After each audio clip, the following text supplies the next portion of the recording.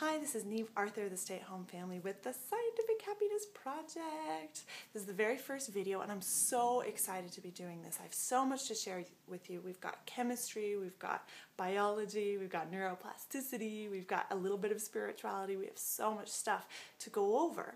But I realized that until you understand one basic premise, it's not really going to help you that much uh, if you don't believe this one thing, you're probably not going to watch the videos. They're not gonna, you're not going to apply them. They're going to sound great as you're watching it, but it's not going to affect you. So you need to understand this. One, your thoughts matter, and two, you can control your thoughts. Now, right now, you go, yeah, my thoughts matter. No, but your thoughts really matter. They really affect your results in life, in business, in health, in whatever it is you're looking to change or improve. It all starts with your thinking. Now, why is that? Well, there's a few reasons, and we're going to dig into them in further videos. However, as a brief idea, your thoughts are creating neurons firing in your brain. That's basically what thoughts are. As that happens, they send signals to your body to create different chemistry within your body. Again, we're going to dig into this a little bit deeper. However, it's that body chemistry that gives you your feeling. And your feeling can create either motivation or that feeling of bleh. Either drive and passion and purpose or that feeling that you need to sit around and watch TV. All of that comes from your body, not from your mind. But it's your mind that signals your body what to be feeling. Okay, your thoughts also can have an effect outside of your body. Did you know there's something in quantum physics called the observer effect?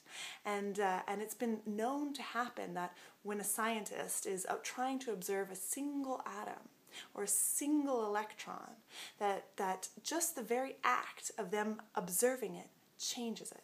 Just the very act that they are focusing their attention upon it holds it into one spot, makes it uh, lose all the other potential places that it could be, and it makes it in, stay in that one spot. What does that mean? That means that your thoughts and your focus affects the world around you because the world is created is made up of atoms and electrons and protons and all those things, right? So your thoughts can affect your outside world and they affect your inside world okay? And you can control them. Right now, it feels like you can't because you're allowing them to go on autopilot.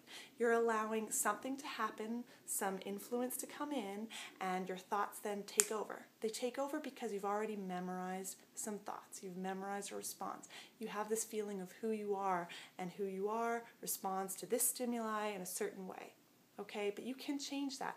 We're going to work on how you can change that. But the most important thing you can decide right now is that your thoughts are the most important thing because they create your world around you and you have control over it. And because of that, if you want to change the world around you, you change your thinking. Now we're going to dig into this in the next few videos, so don't worry if this felt a little bit rushed and a little bit like, what?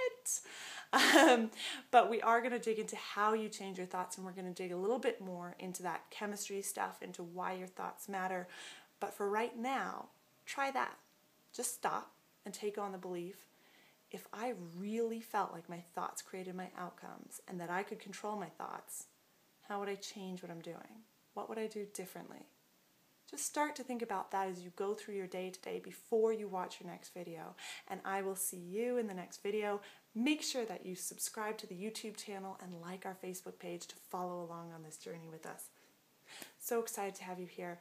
Spend the day with that question in your mind if I take on the belief that my thoughts truly create my outcome, if your thoughts truly create your outcome and you control your thoughts, what would you do differently today?